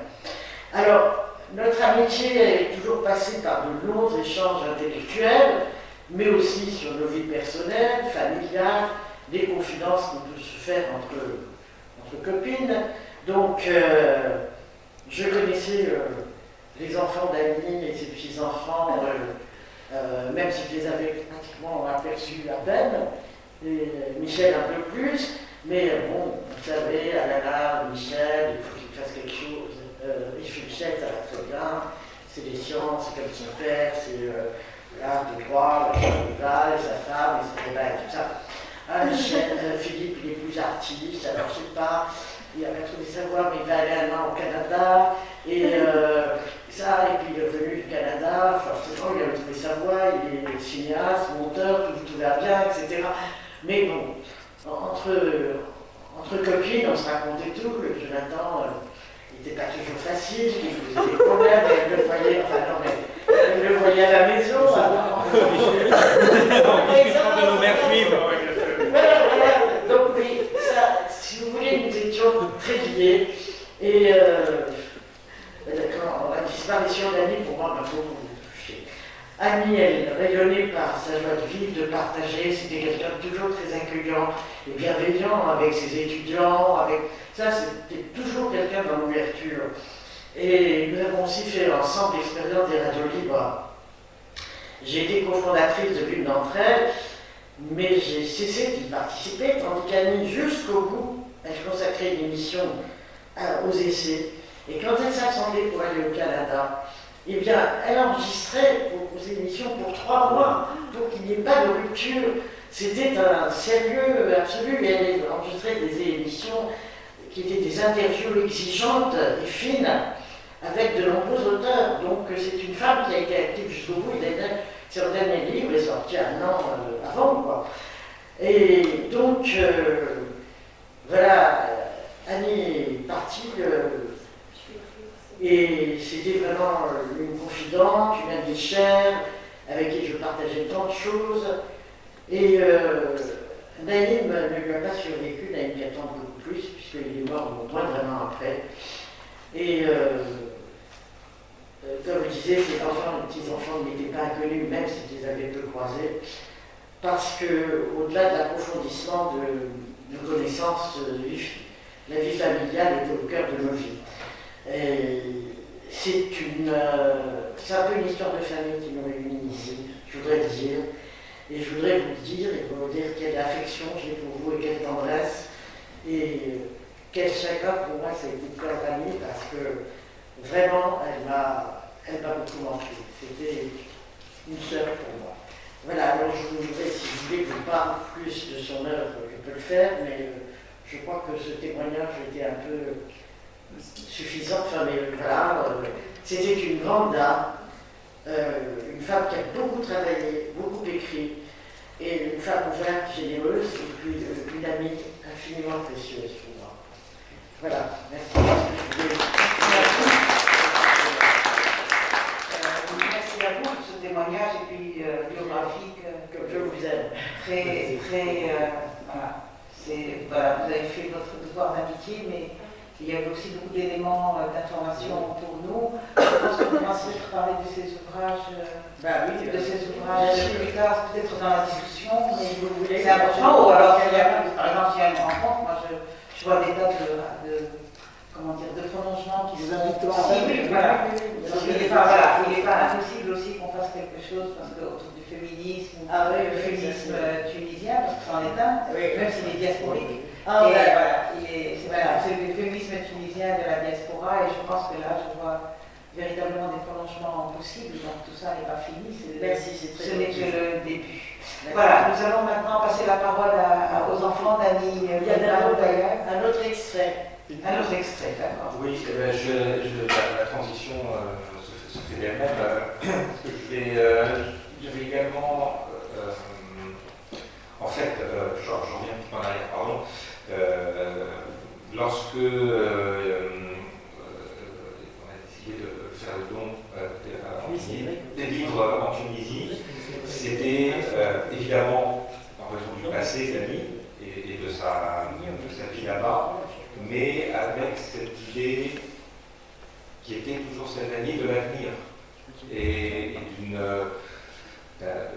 société à évoluer, à construire et, notamment, euh, on a très bien expliqué euh, Janine sur euh, la condition des femmes et sur les combats des femmes tout au long du 19e, 20e siècle et des sociétés à, transformer. Et elle nous disait toujours, quand elle parlait de la Tunisie, au-delà de ses souvenirs personnels, la Tunisie a une spécificité dans le monde arabe de modernité, une spécificité forte mais fragile, en raison de l'environnement, de la situation. Euh, et, c'était quelque chose vraiment de, qui lui tenait à cœur euh, sur la situation des femmes.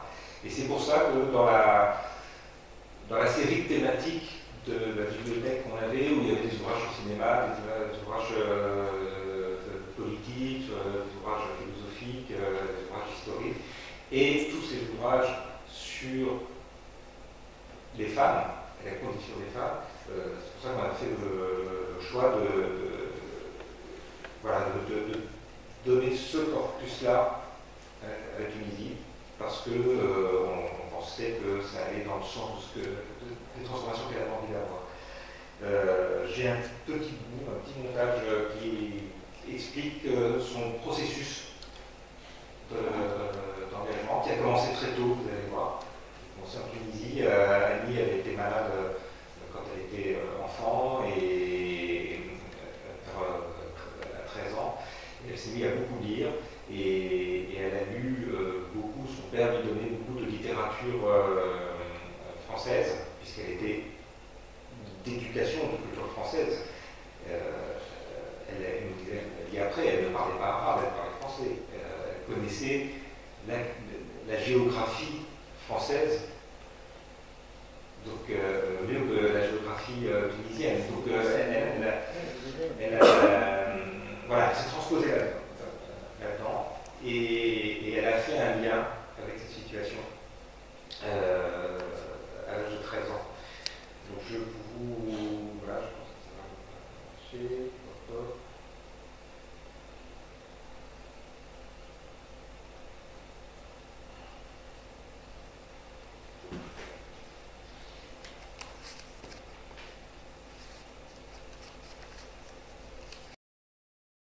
Quand j'ai refermé, au bout d'une sieste, euh, Madame Bovary, j'avais 13 ans, j'ai dit, moi, je ne veux pas être Madame Bovary. Je je ne sais pas ce que je serais, ce que je sais pas ce que je pourrais être, mais je ne serais pas Madame Bovary. Si je me marie comme ça, avec quelqu'un comme ça de ce milieu, etc., etc., je serais Madame Bovary, alors pas question. Donc tu pouvais faire une, identification avec ce roman? Ah oui, oui, ah oui, tout à fait, oui, oui. Parce que nous, la situation que moi j'ai vécue dans les années 50 euh, à Tunis, c'était exactement la situation des filles bourgeoises en France dans les années 20, 30, euh, même après la guerre de 14, et même je dirais le 19e siècle. Pour être vraiment franche, c'était le 19e siècle, au niveau des mentalités. Au niveau des mentalités, tu ne pouvais pas sortir avec un garçon tout seul, tu sortais en bande, oui. Ça, oui, on nous laissait en bande parce que, à condition que ce soit le même milieu, rien ne m'énervait autant quand j'allais là pour le début dans les surprises parties et que je disais j'ai rencontré un garçon, comment s'appelle-t-il Le nom, qui, son nom de famille? Je disais non, ah, ah c'est le fils du docteur, ah oui, oui, bon. Donc ça créait une espèce de pression, ce qu'on appelle la pression sociale, une pression diffuse, tu vois, mais qui était. Euh, euh, euh, que les femmes intériorisaient. Ça a été pendant des siècles, depuis. pendant des siècles, les femmes ont intériorisé les interdits Hein, des interdits d'être seule. même ma mère, à la fin de sa vie, quand par hasard il arrivait que je reçoive quelqu'un ici, un monsieur, et qu'elle se trouve. Elle, elle, était gênée d'être seule avec lui au salon pendant 10 minutes. L'éducation ne nous a pas donné une éducation de battant. une fille ne doit pas euh, demander, elle ne doit pas s'imposer, alors, dans tous les rapports, aussi bien les rapports avec euh, l'autre sexe, comme on dit, euh, j'ai jamais été habituée à, même à, laisser deviner les sentiments, à laisser deviner certaines choses. Tout était toujours, euh, on, ne, doit pas, ça ne se fait pas. Et en plus, on ne demande pas, on ne revendique pas, sauf, ça m'est arrivé simplement, alors là, ça a été la grande libération en 68 parce qu'alors là, c'était collectif, c'était fini, c'était plus moi, hein, c'était autre chose. C'était, je faisais partie d'un collectif, c'était pas du tout pareil. Et à ce moment-là, j'ai changé complètement. Euh, on s'est retrouvés finalement dans les groupes d'autoconscience qui avaient proliféré euh, en 68, 69, 70, on s'est retrouvés finalement entre femmes. Et peu à peu, on a eu des réunions ici, d'ailleurs. Euh, euh, très, parfois très douloureuse. Parce que finalement, les femmes ont commencé à parler d'elles-mêmes. Ce qu'on ne faisait jamais. On n'y pensait même pas. On y pensait. On y pensait, c'était au niveau des études, des examens, etc. Peut-être aussi le travail, etc. Mais en tant que femme, qu'est-ce que c'est euh, quel, est le rapport avec l'homme, qu'est-ce que ça voulait dire, ou avec les hommes, et comment. Euh, ça, ne s'était jamais, enfin en tout cas, ça a été, en, tout cas pendant 68, ça, n'était pas le centre de la discussion. Mais peu à peu, on s'est rendu compte qu'on avait finalement, on, mettait on, se retrouvait en accord sur certains problèmes. Qu'est-ce que ça veut dire être femme? Et qu'est-ce que ça veut dire par rapport à un homme? Euh, Est-ce que être femme, c'est être comme un homme? C'est-à-dire affronter la vie, etc., comme un homme euh, Est-ce que être femme, c'est la maternité? Est-ce que ne pas vouloir d'enfant, c'était euh, un déni de la femme? Euh, Enfin, ça a commencé, c'était en brouillon, tout ça, c'était en brouillon. Et ça a créé une espèce de solidarité, d'ailleurs, à partir de ces problèmes. Et alors là, toutes sortes de problèmes sont sortis. Et je veux dire, on en parlait très, très crûment. Il y avait des femmes qui disaient, moi, euh, j'ai plus envie de, faire l'amour avec mon mari. Euh, et je peux rien lui dire parce qu'il ne comprend pas, il n'entend pas. Euh, et puis, puis il y a des moments où j'ai pas envie, des moments où j'ai envie, il ne veut pas. Et puis après tout, qu'est-ce que ça signifie la sexualité dans le mariage? Est-ce que c'est tellement important? Si c'est tellement important, pourquoi il va ailleurs?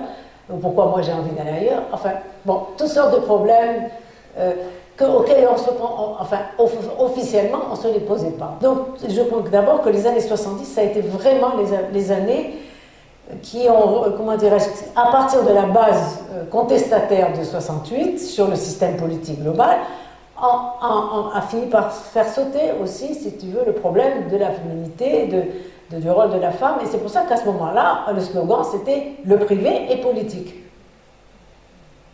ce que beaucoup de gens ne comprenaient pas de l'extérieur. Hein. Ceux qui avaient été restés en dehors de, 68 ou bien restés complètement sur la ligne lutte des classes, etc., ne comprenaient pas du tout ça, pas du tout. Et nous, notre, notre euh, base de réflexion, c'était le privé et politique.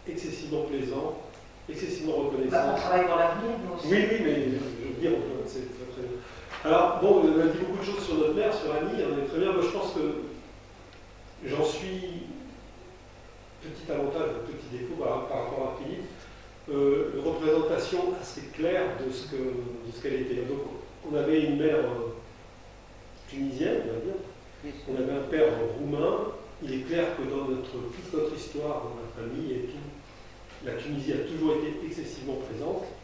La Roumanie, euh, pas du tout. Hein, je veux dire, euh, non, mais euh, notre père ne nous a jamais parlé de la Roumanie. Pour lui, c'était une histoire passée, il n'avait plus vraiment d'attache avec euh, la Roumanie. Alors que notre mère nous parlait toujours de la Tunisie. Pour elle, elle a toujours dit que c'était qu'elle a eu une, jeunesse merveilleuse en Tunisie, merveilleux.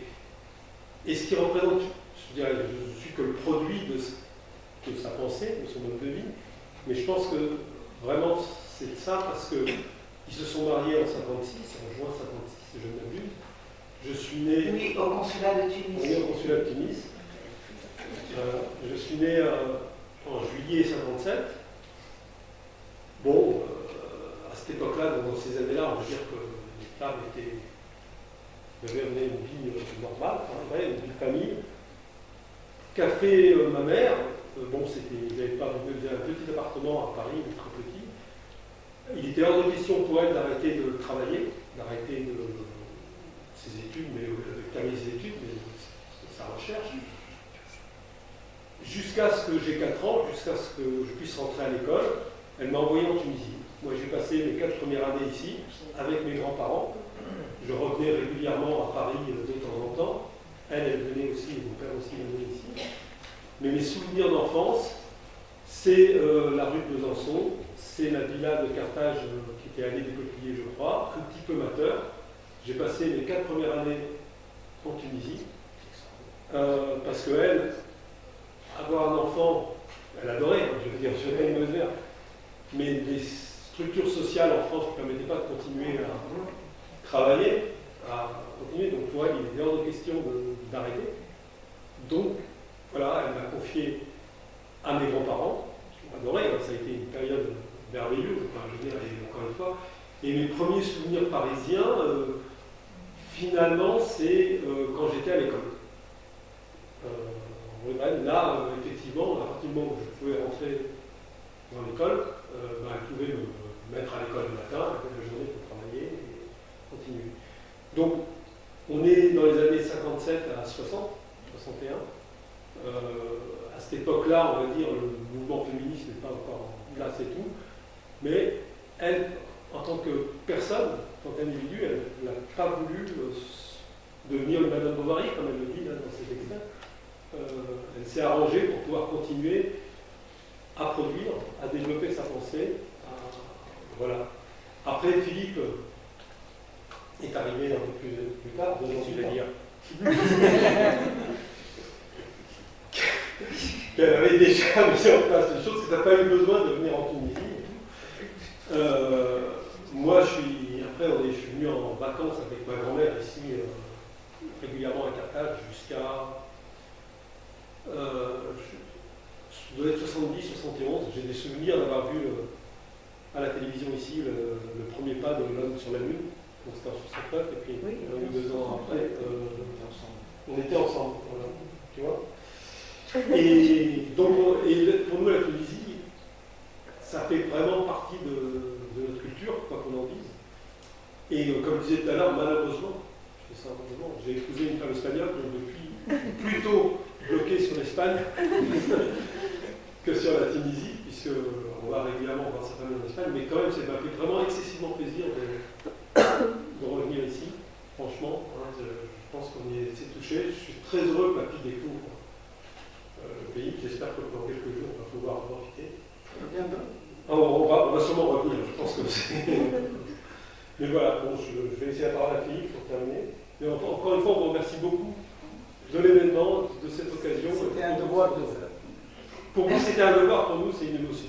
Merci beaucoup. Je voudrais. Euh, euh, je ne veux pas éteindre l'émotion, parce que, mais je voudrais surtout rappeler que euh, qu'en 1961, si vous n'êtes plus revenu aussi, c'est pas seulement que vous alliez à l'école, mais peut-être parce que les relations franco-mobilières ont changé, c'était la guerre de misère.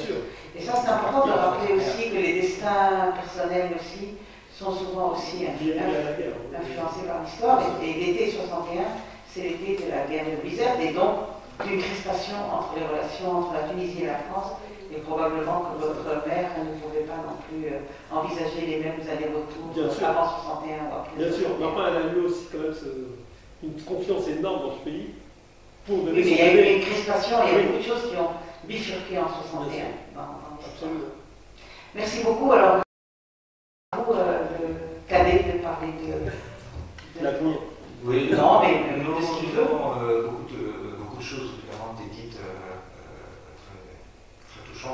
Euh, effectivement, 61, c'est l'année où, sont partis euh, ses parents. Et, en fait, Annie a, toujours eu un, rapport un peu ambivalent mais contradictoire vis-à-vis de la Tunisie. C'est-à-dire qu'au moment de l'indépendance de la Tunisie, elle, elle, s'est mariée, elle vivait en France, elle avait un enfant, enfin, sa, sa, vie se dessinait en France pas quitté la Tunisie à cause des événements historiques, mais euh, elle était donc elle en France et ses liens avec la Tunisie étaient très forts parce qu'il y avait ses parents, sa famille, euh, son enfance, ses amis, etc. Euh, la rupture s'est faite en 61, bizarre, comme elle le disait, ses parents sont partis, et, surtout son père n'a pas supporté et, il est mort trois mois après en arrivant en France.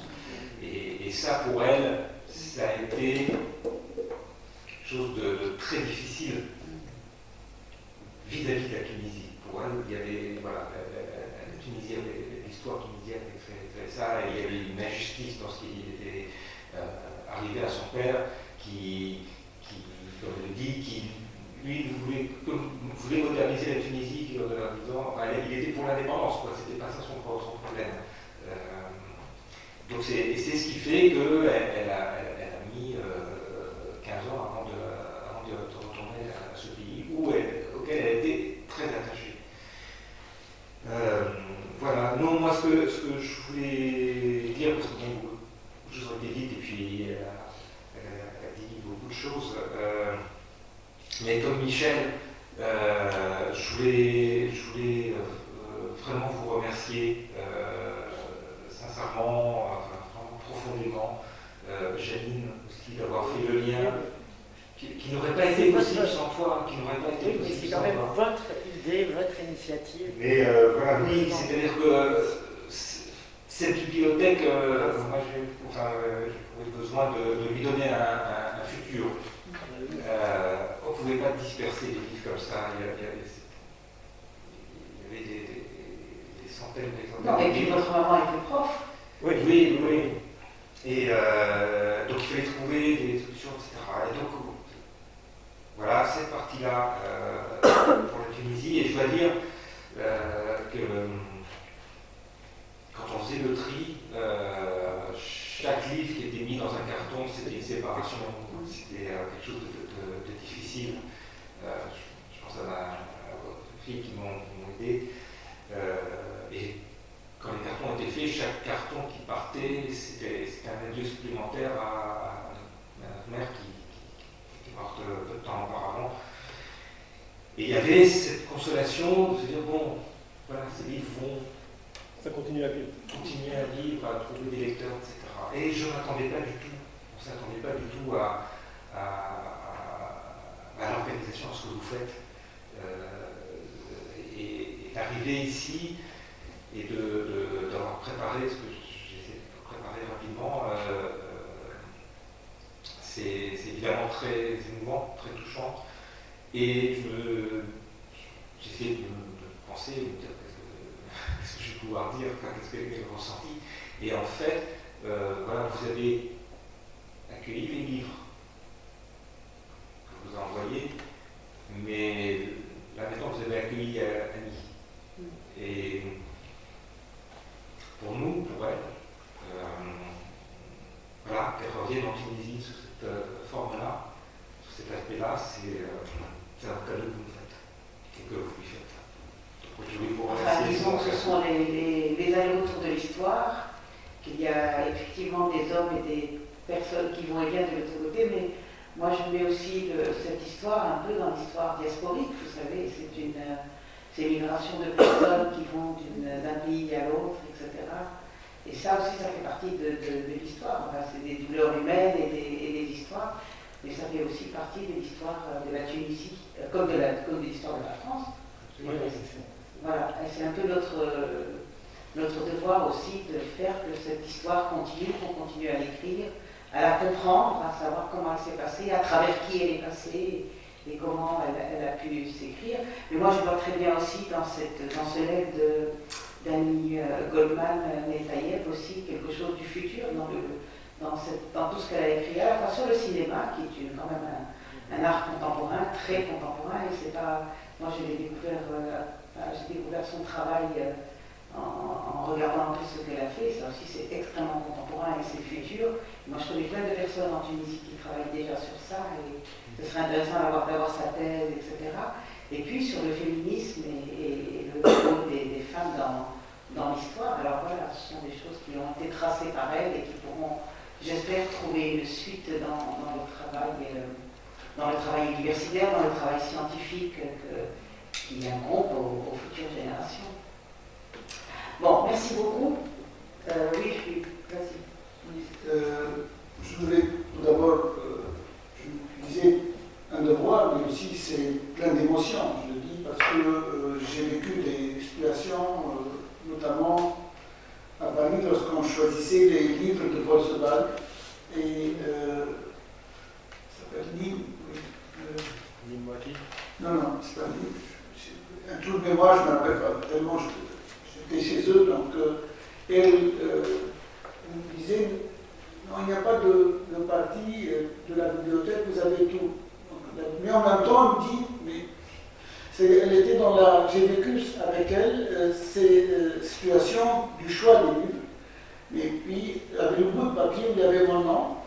Et il dit non, de toute façon, Paul n'aurait pas refusé parce qu'il m'a dit que c'est lui ce que ses étudiants, euh, ce, que, ce qui pourrait servir à ses étudiants. Donc, non pas à moi, mais c'est à, à ses étudiants. Parce que pendant des années où je préparais ma thèse, j'allais chez eux, mais en même temps manger, etc. Donc, euh, et j'imaginais ce, que vous dites pour le choix, ce- mais en même temps l'arrachement, parce que en fait c'est un mobilier, donc c'est des éléments de. Donc elle regardait, mais, euh, mais en même temps, elle hésite, dit mais ces livres-là étaient à la rue, de Serbie, donc c'est là où on habitait. Mais, et on n'imaginait jamais que ces livres-là allaient un jour à Paris. Et maintenant, leur destinée, c'est évidemment, tout ça, je le vis, et comme vient de dire, donc Annie est, en nous, elle est, ce qu'elle a voulu faire, et euh, elle continue, et c'est un peu ce. Nous, nous, voulons intellectuellement que, ça, que euh, ces départs ne sont pas des départs définitifs, c'est qu'il y a toujours des allers-retours, et que cette Tunisie que nous voulons, euh, la Tunisie, maintenant on utilise plus le présentiel et le virtuel, mais tout ça en, en même temps. Nous ne voulons pas que parce qu'il y a eu des accidents de l'histoire, bien ce que Bichislama dit, euh, il y a la petite histoire, nous étions emportés par la grande histoire. Nous étions partie de la petite histoire et est venu, bon, on, veut qu'on passe à une autre phase, non plus dire pourquoi ils sont partis, mais de toute façon, nos, enfants, mes deux enfants sont, en France, mais je ne sais pas, est-ce que mes petits-enfants veulent. L'essentiel qu'il y ait, on maintienne les maillons d'une chaîne et que euh, au-delà où on est, on ne va plus rester. Euh, pourquoi ils sont partis Pourquoi De toute façon, une bonne partie, si on ouvrait les frontières, une bonne partie va, partir, mais en tout cas, ils vont revenir aussi. Donc, euh, et c'est ça, c'est le plus émouvant dans ces, moments, et que je, toute ma fierté que ma collègue euh, Rajab il est accepté sans hésiter que c'est la place, parce que et au bout de quelques années, je veux que nous voulons qu'elle reste le plus, longtemps possible, mais on sait que c'est la bibliothèque qui va rester, et donc c'est la mémoire de la Tunisie collective, la Tunisie euh, plurielle, la Tunisie euh, qui est euh, reconnaissante, qui, qui ce patrimoine, je dirais le mot identité, je, crois à l'identité, mais jamais je n'utiliserai le mot identité sans dire identité plurielle. C'est-à-dire que c'est parce que c'est une identité sans la pluralité deviendrait un, le signe de, l'enfermement. Donc je vous remercie d'avoir joué le jeu, d'avoir pensé que évidemment c'était de notre devoir et notre cette institution, euh, c'est sans devoir d'y répondre. Je suis fier que euh, dans cette Tunisie, une femme, donc il y a une phase où une femme, à, Jeanne Stem, euh, était à, euh, sa, direction pour veiller à tous ces projets qui continuent, parce que cette prospection, donc il y a plein de livres que nos étudiants sont en train de découvrir maintenant, qui ne sont pas catalogués, ils ne sont pas mis dans l'inventaire, etc. Et on leur donne une vie parce qu'un livre qui n'est pas dans les, dans inventaires, c'est vivement. Donc, il est perdu dans la... Donc, c'est dans ce travail-là que plusieurs euh, convergent, donc la Bibliothèque nationale, euh, notre laboratoire, nous tous, euh, la Fondation Rosa Luxembourg. Donc, il y a une convergence. J'espère que ça donne évidemment les familles qui s'y prêtent à ce, ce jeu, ils comprennent que ces livres-là, ils ont une place et nous sommes, j'espère que la. Parce que euh, au-delà de ceux qui sont présents aujourd'hui, c'est cette scène, euh, le fait que ces livres-là sont catalogués, donc c'est pour l'éternité. on ne sait pas jusqu'à quand, mais de toute façon, d'autant plus qu'avec euh, le numérique, donc ça donne maintenant une vie, visibilité, et je tiens à vous remercier, je tiens aussi à ceux qui nous accompagnent, qui n'ont pas forcément un lien direct parce que les petits-enfants, mais on voit que le fait qu'ils euh, elles sont venues, euh, donc c'est euh, tout un, pour moi, c'est des émotions, c'est une charge très forte et j'espère que une, à partir de cette, séance d'aujourd'hui, il y ait une nouvelle vie pour vous et que la Tunisie, vous, la, vous allez la retrouver autrement, enfin, pas autrement, mais une, nouvelle, oui, une redécouverte de cette Tunisie. Merci à toute la famille. Tout le monde pense que même celles qui sont euh, silencieuses suivent, donc euh, avec, euh, avec, nous tous, cette émotion. J'espère que une nouvelle. Oui, oui, voilà, merci.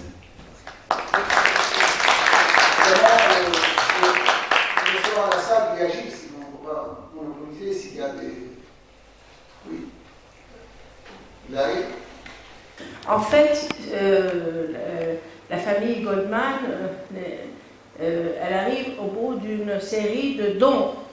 Habib, on avait déjà reçu la bibliothèque ou une partie de la bibliothèque Paul Sébac. Moi-même, je m'étais chargée de la bibliothèque de la famille Félous. Felous alors j'étais responsable du cheminement de toute la bibliothèque de leurs parents, qui était aussi très douloureuse à donner. Ce n'est pas évident, l'emballage, qui va assurer le transport, comment je dois aller les, chercher à chaque fois qu'il y a un voyageur prêt à prendre des livres.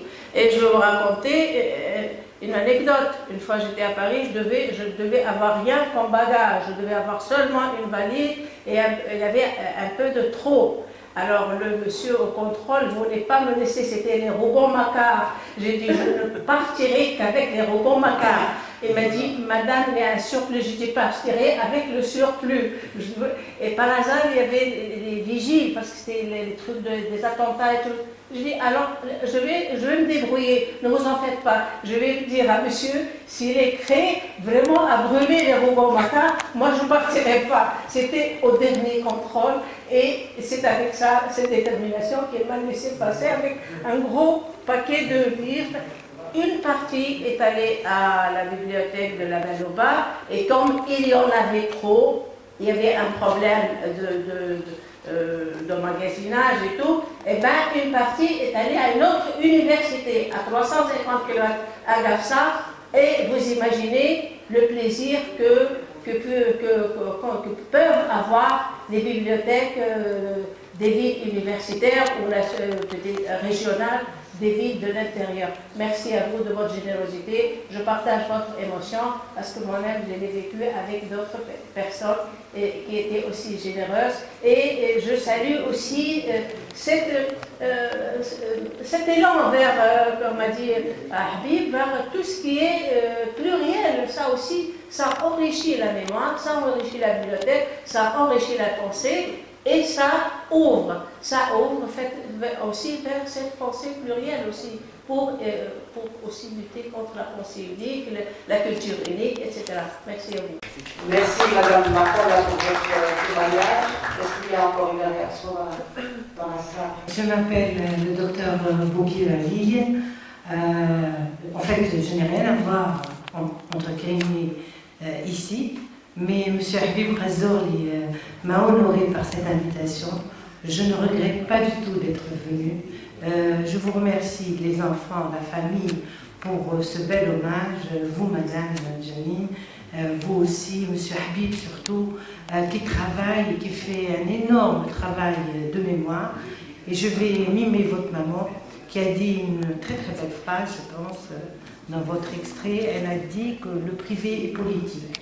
Je reprends cette phrase, le privé est politique, le travail de mémoire est politique, et sans ce travail de mémoire, je crois que la Tunisie ne persistera pas, ne résistera pas, ne luttera pas. Et nous pensons qu'avec vous et tout ce, monde qui est derrière la mémoire pour l'écrire réellement, euh, dont c'est qui est le grand ténor, euh, d'après moi, euh, ce, ce, travail de mémoire fournira à la Tunisie la force qu'il lui faut pour encore avancer et euh, s'améliorer. Merci beaucoup. Merci beaucoup, Madame le euh, Est-ce qu'il y a d'autres réactions? Oui,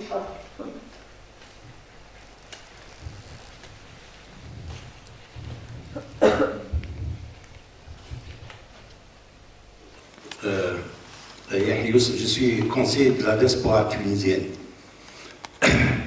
Euh, Est-ce que aussi, je, suis d'accord avec vous pour euh, le temps pour la Bibliothèque nationale, mais pour Mateur, la région de Mateur, est-ce qu'elle a le droit?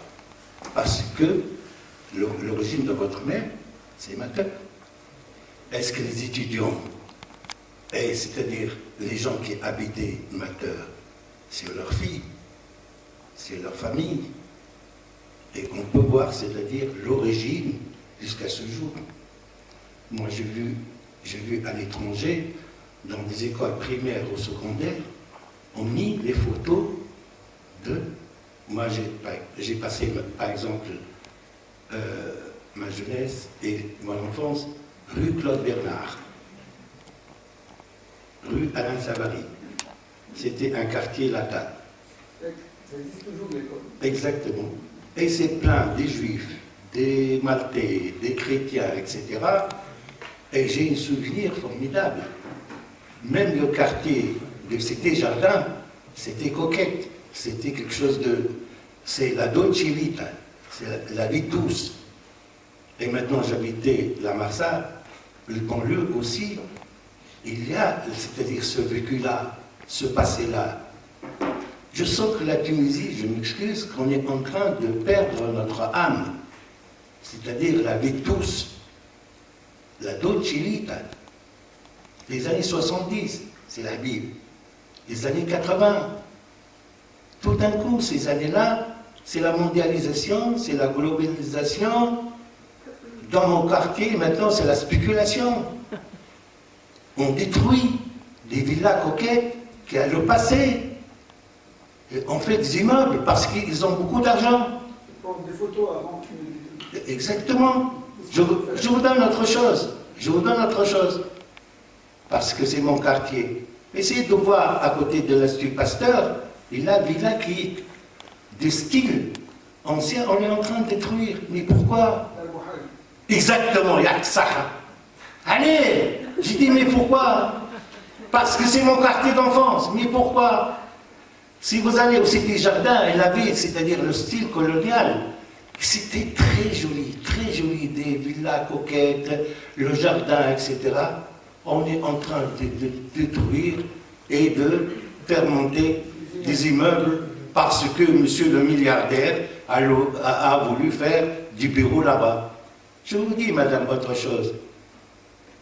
Moi, je suis fi financier, mais j'ai ma formation grâce à mon professeur de français, j'adorais aussi, et club Haddad avant, et club euh, ciné-club, et jeunes sciences, c'est-à-dire cette période-là, j'ai l'ouverture vers le monde et vers la culture, etc. Madame, essayez de voir un petit contre la société de Tunis. Essayez de voir le quartier rue d'Allemagne, rue d'Espagne. Et regardez là-haut, vous trouvez le, le, style baroque et le style art déco.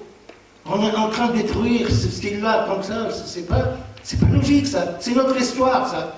Qu'est-ce qu'on va laisser pour nos petits-enfants? Ok, ils sont allés à l'étranger. Mais s'ils veulent revenir ici, au moins ils trouvent quelque chose. À côté de Montfleury, c'est à peu près, c'est-à-dire c'est des Boussaïd, mais c'est des, des, des délabrés. C'est plein, c'est plein, c'est plein. C'est pas, pas loin d'ici. Moi aussi, tout touché ce, matin, à côté de restaurant d'Agel. Essayez de voir sur le café. J'ai regardé là-haut, j'ai trouvé au premier étage, madame, un style formidable de Sidi Boussaïd, mais abandonné. Le plafond, sauf en bois, l'architecture, les fenêtres, abandonnées. Au banlieue nord, madame, le, le, le château de Bey, Odem Zafir, Odem Safsar, il est abandonné. Euh, on a des, on a des bijoux. Moi, je, je, on a fait une étude. le passé. Euh, euh, quand on dit on va aller, c'est-à-dire euh, à la plage, on dit Saint-Germain. Zahra, actuellement. Quand on allait aussi des Boussaïd, c'était des baraques à cette époque-là. Mais c'était la Dolce Vita c'était l'âme de la Tunisie Maintenant, c'était la globalisation, mondialisation, et maintenant on parle, on dit on voit ce bâtiment, combien il coûte Combien il coûte On va détruire, mais on va vendre chaque appartement à un prix, c'est-à-dire très important. Alors on détruit. J'étais un peu lent, mais franchement, madame, pour votre association, vous avez beaucoup, beaucoup, beaucoup de travail à faire. L'autre fois, je ne sais pas si vous étiez avec nous, في دار الحكمة في بيت الحكمة l'héritage andalou trois jours la musique la musique aussi juive et la musique euh, judo-tunisienne le malouf juif C'est-à-dire, il y a des choses. La cuisine tuniso-juive.